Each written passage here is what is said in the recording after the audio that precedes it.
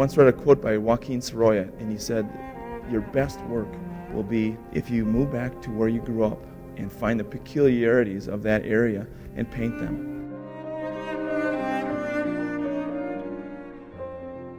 The title of the book is, is Not Far From Home, which I think really reflects my sentiments uh, in life. I grew up in a small rural community. Uh, my parents were very encouraging and supportive. Uh, my wife and I moved back to uh, that area. So the title of the book, Not Far From Home, reflects that.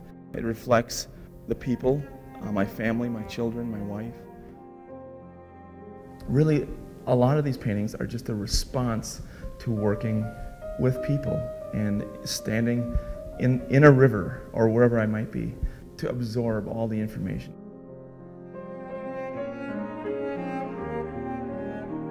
So what this volume is, really represents is my life's work up to this point. I've been painting uh, professionally for about 25 years, and in, in this work we include a lot of the, the people and the landscapes and the still lifes, the figures, uh, the decorative compositions.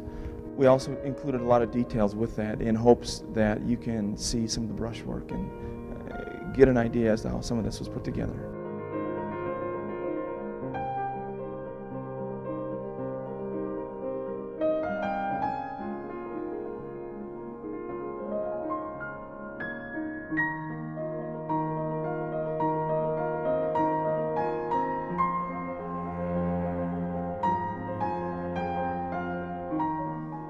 What I hope that you get a sense of in this work is my sense of wonder and awe as I'm standing outside and all the information is coming in the, the dance of color, the, the, the light reflecting and sparkling and bouncing, all that stuff, uh, the conversations I have with the model, all that stuff works its way into the paintings and gives it a sense of life that, that, that it's, it's impossible to get if I were to stand in front of a photograph. So much influence of color. It's just a, um, an overwhelming pouring in of information and, and trying to just kind of coalesce all that information into one image is a real challenge, but it brings great joy.